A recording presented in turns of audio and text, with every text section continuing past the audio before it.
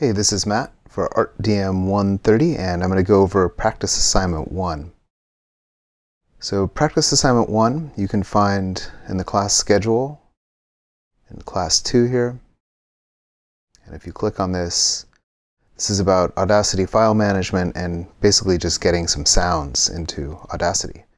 And you can see the directions here and if you scroll down you can see the grading criteria and there's a clear rubric. Make sure you double check mm, to see that you have all of the points here uh, before you submit your assignment. And this is true for all assignments in this class. So this is just practice here. And we're going to use Audacity. And I just installed the update. In this case, it's version 3.1.3. And I'm going to click on this and now we're in Audacity. Just going to resize my window here. And you should be able to just hit record and start recording. That's this little red button here. Looks like an old tape deck. There's pause, play, stop, rewind, fast forward.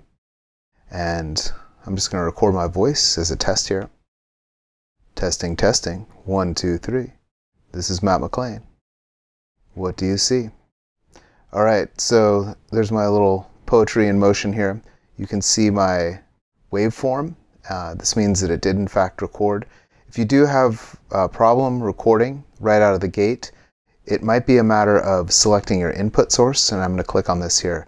Uh, in this case, I'm using a little Fifine uh, lapel mic, and you can also record just like I'm on my laptop, built-in microphone, or if you're using Zoom, you, you can I don't know if there's a Zoom device. I don't have one. I'm not sure why it's seeing that, but um, I've actually had problems with Zoom um, playing other programs back through it. You have to go in and change the output. And if you ever do have to do that, that would be done over here. So if you're like at a Zoom conference and you wanted to play back Audacity for people, you'd probably have to select the Zoom device there.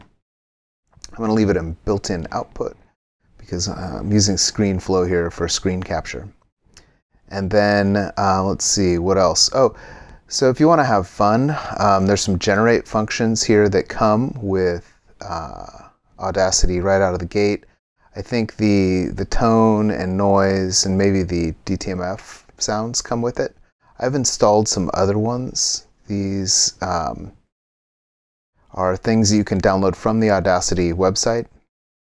So for starters, I'm just going to use a, a tone generator.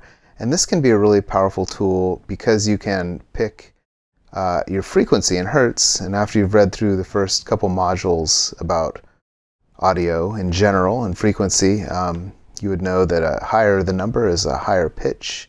Um, that's really high. Um, I'm going to do 440. This is the note A that a lot of classical musicians uh, tune to, although that is subjective. There are definitely orchestras that tuned to other pitches. I think San Francisco Symphony is an example of one. Um, or at least it used to with Michael Tilson Thomas uh, as the director.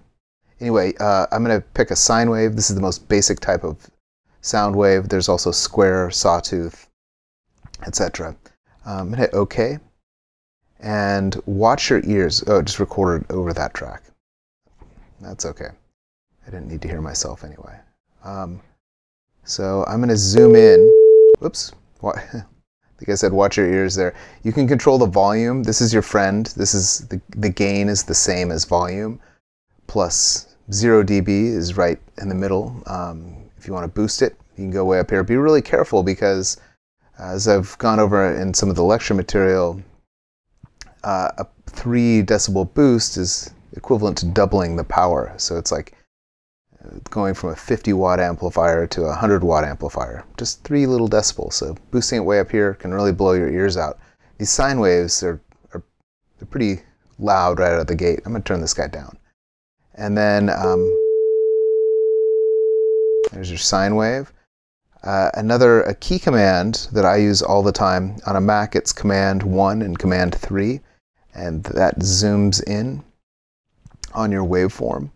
So I'm doing command one. I think it's it's either control or um, I think it's control one and three on a PC. Let's see. So here you can zoom in, and this is one of the cool things about Audacity is you can actually get in to the DNA of the waveform. Here's a little pencil tool, and so you can actually redraw curves. Woo, good times. So you could literally go in and, and paint a symphony. it would be really tricky. It would probably take you a billion years to do it. Um, as I zoom out like that, you probably won't even hear that little glitch that I painted in there. I'm gonna go back. This is just the, the cursor icon here. You can see the little blip right there. Let's see if we can hear it. Oh, yeah, it was a little, sound like a little clip, a little static pop. So anyway, you can get in there and um, it is destructive editing. So that's one of the things that it can be really powerful about Audacity is getting in, you can actually fix problems. So for example, if you had a, a glitch in a track and you wanted to go in and fix it, you can, um, whoops, zoom back out. You can zoom back in on that, put my cursor right on it you could go in and repaint the curve. You have to be zoomed in far enough to do that. So, oh yeah, you can see why it glitched out. It's all over the place. I'm just gonna go woot and fix that little thing right there as best I can. Nice and easy. Hopefully, nice and easy. Let's zoom in a little bit more. Okay, and I'm going to zoom out. You can hardly even see it. Let's see if you can hear it now. So it's right after 15 and a half seconds. These are seconds, these little markers, and this row above it. This is uh, important for this project because I only want you to submit something that's uh, at most 30 seconds long because I need to get in and listen to everything. Let's listen to that again. Eh, you can still kind of hear a little wobble. I can actually see it in the waveform. So I need to get in there and do a better job of painting it to really fix it.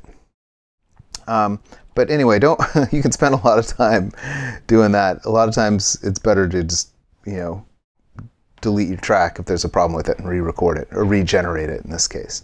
Um, so uh, for this project, you can record your own voice. That'd be awesome. It's a great test to make sure you have a microphone working. Or you can go to freesound.org, uh, freesound.org, and if you set up, it's usually in the upper right-hand corner, you can set up a, an account and then um, this is the, the sounds page here. And waves lapping. I think I downloaded this one. Here's an 8-bit game one. You can preview them here. And then it, once you're logged in, you, you, can click on this and you can go in and you can download uh, the tracks. One thing that is a word of warning is it has a Creative Commons, the licensing agreement. So a lot of the stuff, the vast majority of it in here is free open source and you can click on this and it'll tell you. Public domain, you don't have to, no copyright, you don't have to do anything here. So that's cool. Um, that's one I might want to steal. I think I did. Not steal, download. This is here. People put the stuff for us to use.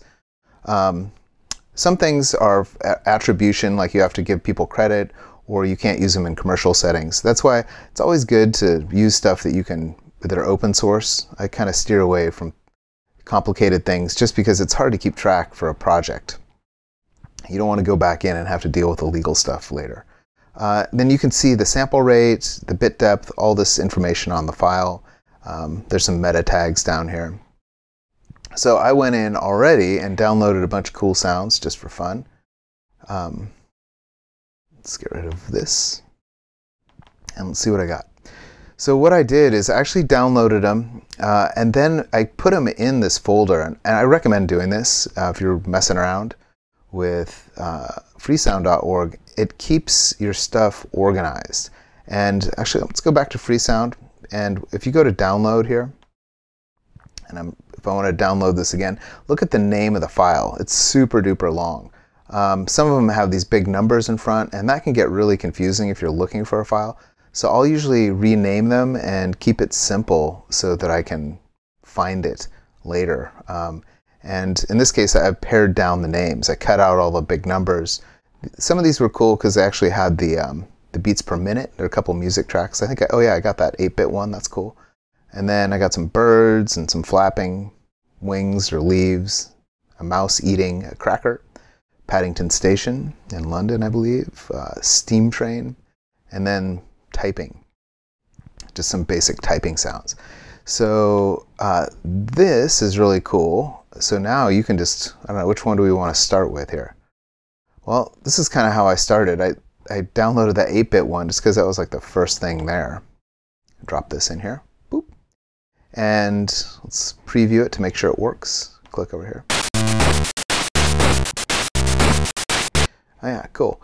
So then I'm going to go back over here, and then there was this other, I don't know, the Amen break, the second most sampled break uh, after the Funky Drummer break by Clyde Stubblefield. I can't remember who played this one. You'll have to look that one up. But uh, anyway, they edited it and sped it up to 150 beats a minute. So you'll notice this one is 120 beats a minute, this one's 150. So it's going to be out of sync. Let's just listen to it together. This one looks really loud. It looks loud because the waveform is super maxed out here. You can actually resize these by grabbing these handles. This can be really helpful. And you can actually minimize a track if you want to get it out of the way. I'm just going to get them so they're a little more manageable here. And then just because I know this is so loud, I'm going to turn the gain down so it doesn't blow our ears out and let's hit play.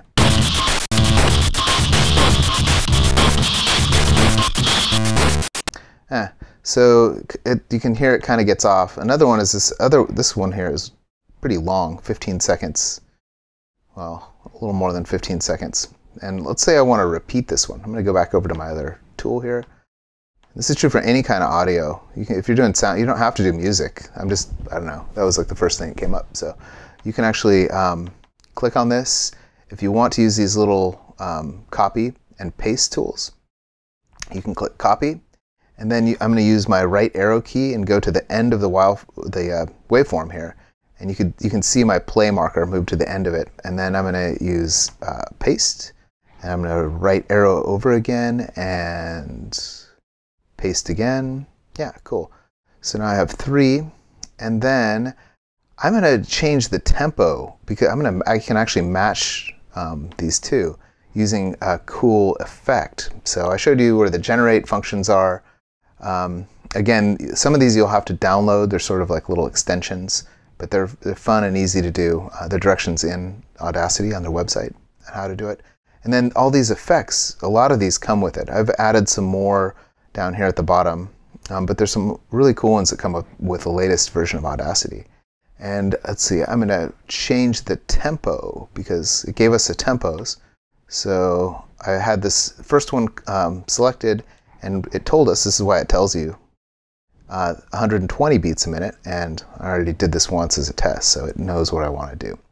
Then I'm going to change it to 150 beats a minute, and I can hit OK. And it just changed this one. Let's see, I can always undo that. Let's see, these are the undo and redo functions, so I'm going to go back, undo. Oh, I actually changed both of them by accident, so I'm actually, eh, I don't want to do that. I just want to click on this one track. And then let's do that again. Change tempo, and it remembers my move. Blammo. Okay, so now it shortened this one here. And let's see, I think I need to repeat this one. Well, I can do that later. Let's just make sure it syncs up.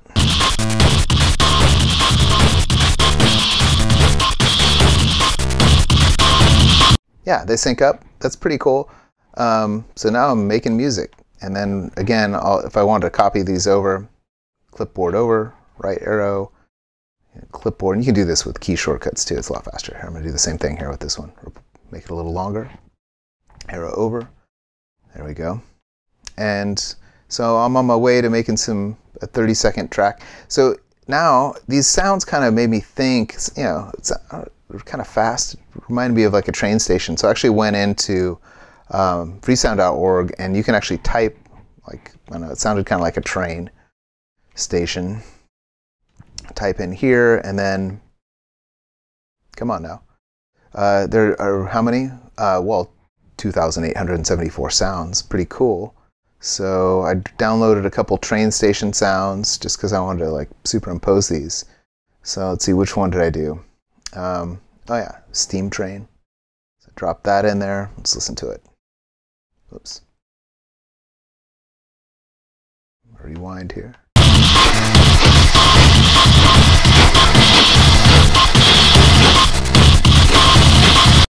So you can solo these out. I want to hear the steam train sound by itself. Yeah, that's kind of cool. Um, I could speed that up. So I'm going to go over to whoops effects again. So I could just speed it up. I could change the tempo, and I, I should have clarified what change tempo does. Is it changes the rate um, that you're hearing the track, but it doesn't change the pitch. If you change the speed, it will uh, kind of like an old tape deck, so or like an old record player changing the speed. It'll both speed it up and change the pitch at the same time. So that might be kind of a cool effect. I'm just going to throw it. Yeah, so it's like an old 33 and a, and a half record player. Let's say I want to put it on a 45. So they call the old little singles 45s because it's 45 uh, revolutions per minute around their old record player. So let's do that, see what happens. And yeah, it's faster. Now it's kind of a high pitch sound. That might work better with my little chip tune 8-bit sample here. Oh, turn my solo off. Let's give it a listen.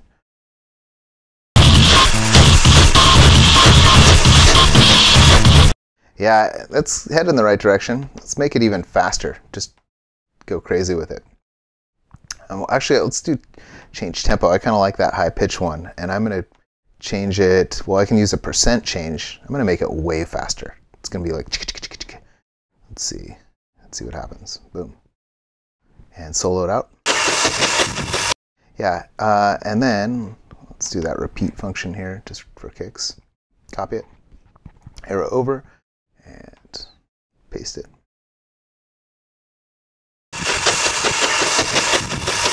Cool, and then um, let's put it in all in the mix here. Yeah, and I might turn that down because it's kind of stepping on other things. So another really important thing to point out is the clipping output function here. There's an input, if your microphone is clipping, uh, you'll see that light up red there, but here it's lighting up red. This is the number one no-no in the land of digital audio, never want to clip. So you kind of have to isolate which tracks are problematic and use these volume sliders to turn things down. Let's hit play and see what happens. So that's, that's better. It's not clipping anymore. And then, I don't know, these sounds kind of got me just on this little thought process here. And for some reason, that little chicka chicka chicka sound, it reminded me of like a, mat, a mouse. I was thinking, well, maybe well, they're mice on the platform. Let's put a mouse nibbling on something in there. Mouse eating a cracker. Hmm, interesting. Okay, yeah, a little nibble. And then I'm actually going to get rid of this beginning part. So I can actually just highlight, like swipe a piece of audio. I'm going to swipe the beginning here. And uh, I'm actually just going to delete it. And that moves everything forward so it's all synced up at the beginning. All right, so that might work in there. I can just tell this is kind of too high of a frequency, so I'm going to use another fun tool just while I'm having fun. I go over to like the pitch one, just because you can see that over there.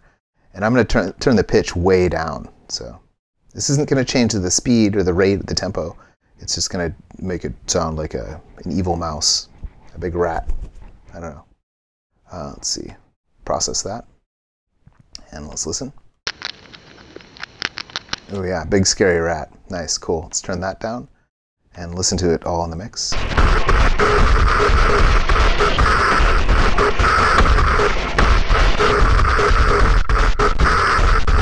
Whoops, I think I had everything highlighted when I did that. That is a problem. Zoop, undo that. Let's make sure, turn the solo off.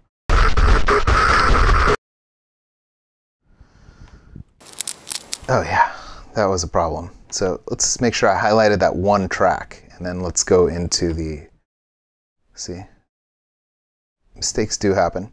And I just, I did undo. I was using the sheet, the key shortcut. Let me just actually show you where that is again. That was the undo and redo. So double click on this again, make sure I only have one thing selected. And then I'm gonna change the pitch way down. Okay, so that just changed that one track. And let's listen. Yeah, cool. And then, I don't know, that reminded me of what else is on the train station. Well, maybe some birds. So I think there were some, I, know, had some flapping sounds. This one is really quiet, so you can just turn it up in here. Um, here's another cool tool. If you double click on this, whoops, there is something we'll get into in depth later, but it's called normalization. And this will basically turn your track up so it can compete with these louder tracks. And I don't think this is the default. I think negative 1 dB is like the default. It's, so it doesn't clip. Um, and then you can see it, it turned it up here. That basically just said the highest peak here uh, is going to be just a decibel from clipping the output. So I got a little more volume out of it without having to change this. And I have some information in later modules about does this alter the audio and some people there's some back and forth, some interesting takes on it. But for now, it's just an easier way to make it compete in the mix.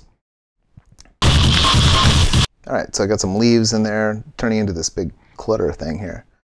Kind of cool mishmash of sounds. Uh, since there's so many in here, I'm actually going to zipper these guys up. And then, I don't know, let's just throw a couple more. Like I mentioned Paddington Station. Let's turn this one down. So now we have an actual train station. And then was there maybe one more sound in there? Oh, typing. Just because typing kind of sounds like train sounds. So I'm going to have these kind of cool overlapping sounds. I'm going to get rid of the beginning of that one. And then again, I mentioned that your project can only be 30 seconds. So I'm actually going to get rid of the end of this one and this one. I'm just swiping them away. Boop. So now I might, if I want to fill this space in here, um, I might need to do some more repeating of tracks. Sometimes it's kind of cool to not have everything playing at the same time. And actually just for kicks, this is kind of where the art of just having fun with audio comes in. I'm going to turn the music off and I'm just going to mute those. And then I'm going to use another, you can actually repeat these if you want it. Looks like I need to do this maybe one, two, three, four, five, six times. You can go into effect and there's a faster way to do this. What I say? Oop, not 47. Let's try six times. So that repeated it close to the end. And then this one, I could repeat that one once. Effect. Repeat.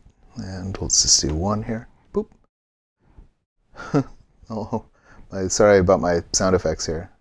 Let's see, what was, these are the music ones that are muted. Okay, and then these, here are the other freaky ones. All right, so let's go back to the beginning and listen to the track.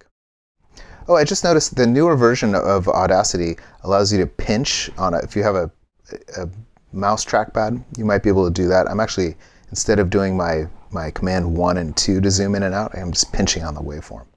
So that's why I resize that. And rewind, let's give it a listen.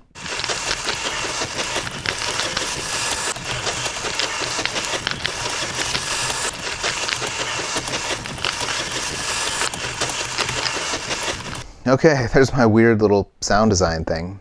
Um, so yeah, hours of fun with that. Um, you can do other things like you can reverse them. So I want to turn this typing up. That was kind of cool.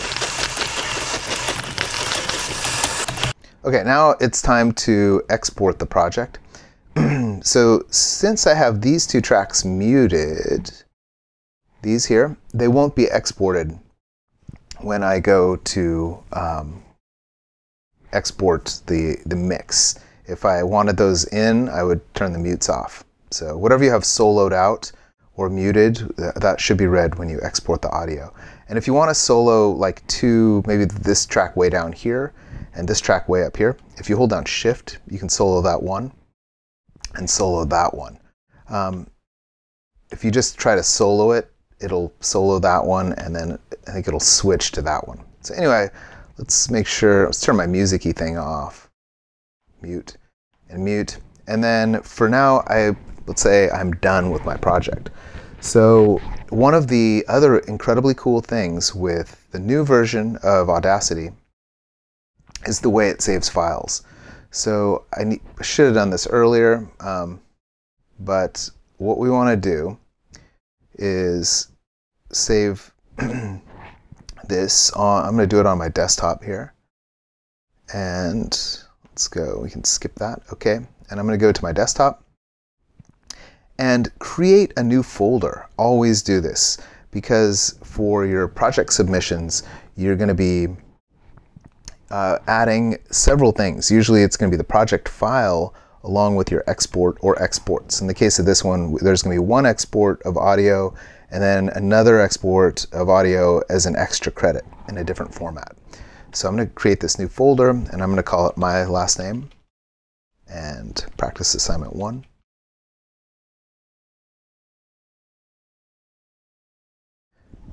And I'm actually going to copy this because I'm going to, well,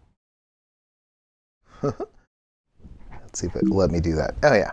So I'm, I'm going to call it um, practice assignment one. So I'm going to hit save.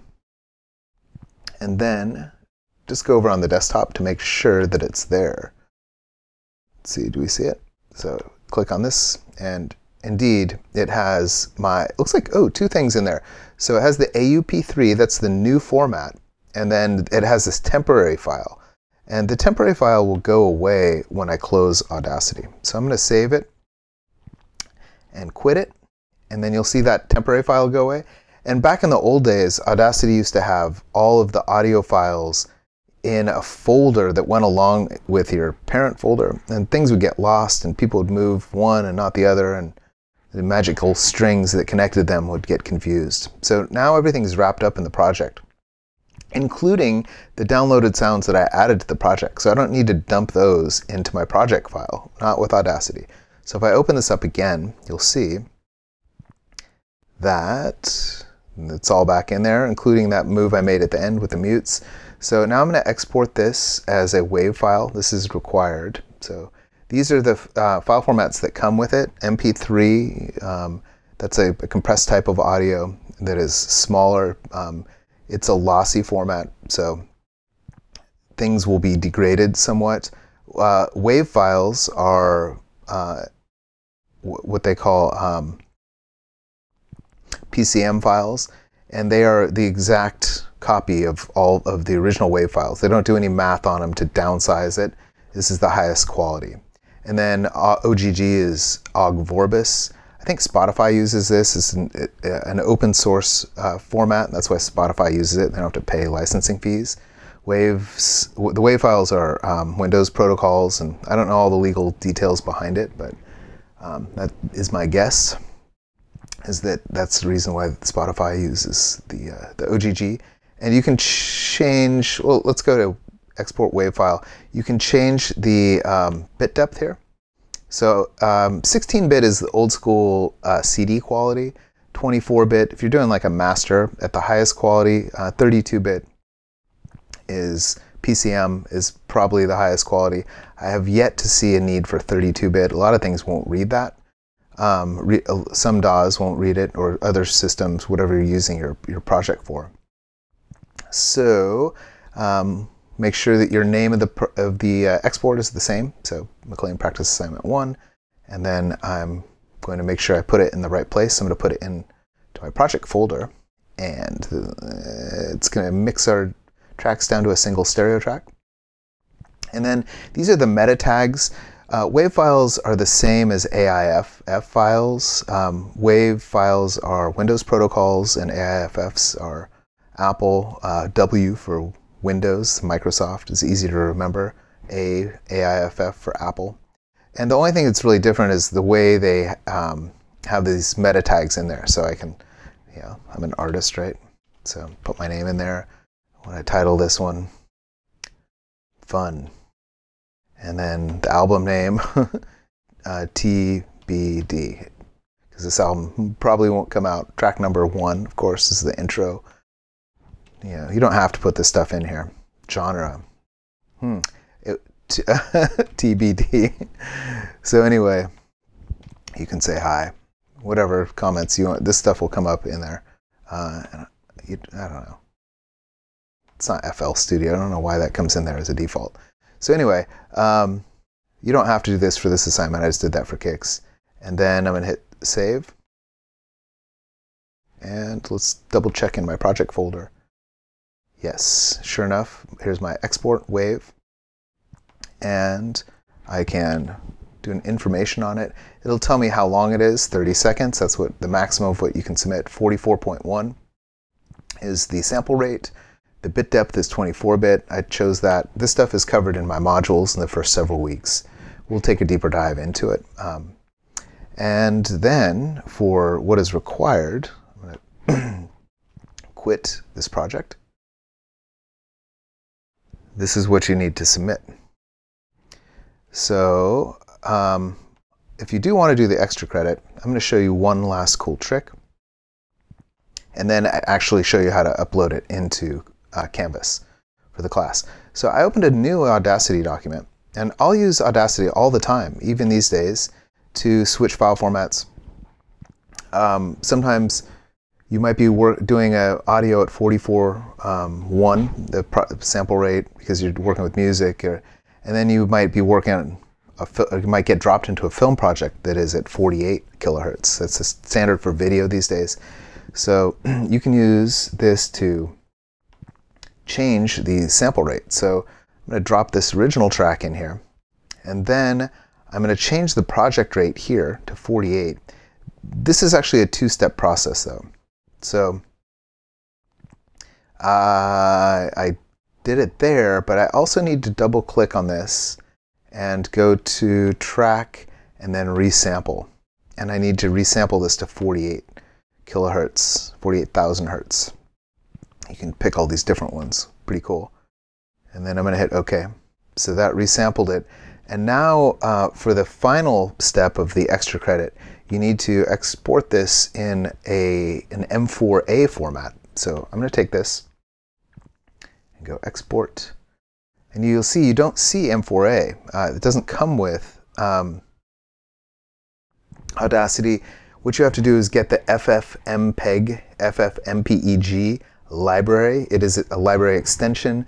There's a link out to it on the Audacity site, but it is um, required if you want to either drop like a video in here and be able to edit the audio for, that it strips out of it, or all these other cool audio formats that I'm going to show you right here.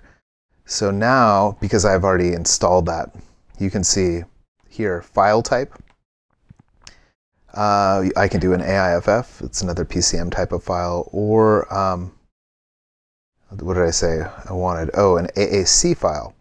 And if, it, if you need the FFmpeg library, it'll tell you where it came from.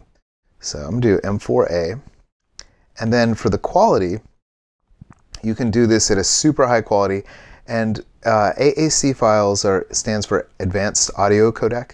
The reason why this is in parentheses is M4A files, like an MP4, uses AAC. The Advanced Audio Codec is the most modern, up-to-date um, type of file compression. It's super complicated um, math that they run on the audio to downsize the files but retain the audio quality. It's better than an MP3. And most, I think, audio engineers would probably be hard pressed to tell the difference between um, 320 and the original PCM, the WAV file.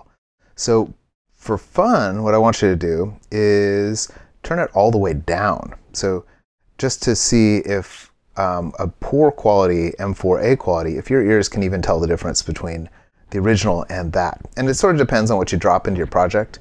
If you have a lot of high frequency sounds or it's really quiet, you might actually be able to hear it better. Um, but let's do that. And I'm going to do this. I don't need to change the name of this because the uh, suffix M4A here is um, is going to already give it a different name in, the, in my old project folder here. So I'm going to go save. And we can leave all that stuff in there. Hit OK. And then I'm going to quit this. I don't need to save this. Uh, nope. So now I have three items in my folder. And I'm going to do an information. On a Mac, it's Command I. It's probably Control I on a PC. Um, oh, here's my comment. Hi. So my sample rate on this one is 48 uh, kilohertz. And this is what I'm going to be doing to grade the extra credit. I'm going to go in and look at your files. Uh, see the duration is the same. If you didn't change the um, sample rate, I think your duration uh, might be different. Is that right? Yeah. No. Oh, if you, yeah, if you didn't change the project, you need to do both. You got to change the project sample rate and the, uh, on, go to track and resample.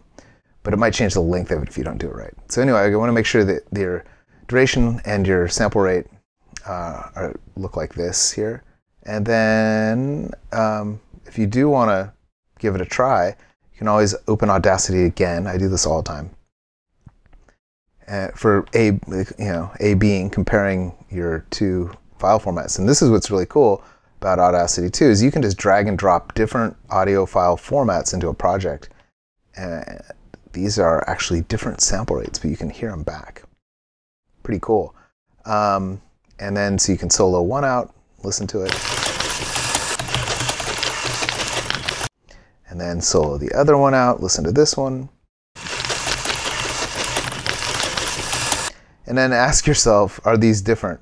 Uh, again, it really depends on the quality of and the type of sounds that you have in here. But this this last step is really just for fun, just to for you at home to compare those. So I'm actually going to delete that. Nope, nobody, nope. Um, and then this is the final step. So now I've done the extra credit, I've resampled it, and I've double checked to make sure that I have my AUP3 project file, my M4A, and my wave. And let's see, what am I going to do? Oh, I need to zip this. And the reason why is you can't upload folders into Canvas. So um,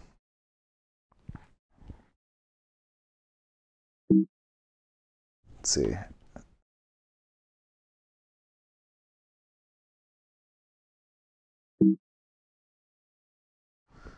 To do that, you hit Control on a Mac and you go to, and it's probably Command uh, on a PC. Um, I'm going to go to Compress. This is actually just going to turn it into a zip file. I will take a, an, a RAR file, .rar. I know some Windows users use those. Um, but this is now a file rather than a folder. It should be a little smaller. So when you go to, to upload, um, back in the assignment, um, in the student view, you'll see a submit button if I click on this, you should see oh, start assignment. I think you have to go to start assignment now. And then here's the submit. So you can upload the file from here. And again, it has to be a file, not a folder. I only want one thing uploaded. Um, and that one thing is your compressed zip file. Um, that's it. And then when I open it up, there should be at least two things in there, three if you did the extra credit. And uh, that's it. Um, one little last note is this, this type of compression is basically just downsizing the file, the folder type. Um, we're going to talk about audio compression or dynamic compression uh, several modules down the road. But in this case, when I say compress, I'm talking about making a big thing smaller. Okay, over and out. I will see you on the internet soon and have fun. Again, you don't have to do music. You can you can do any weird sounds you want to as long as it is at most 30 seconds and make sure it doesn't clip. Um, I'll just send you a little note in my comments if it does. All right, happy editing.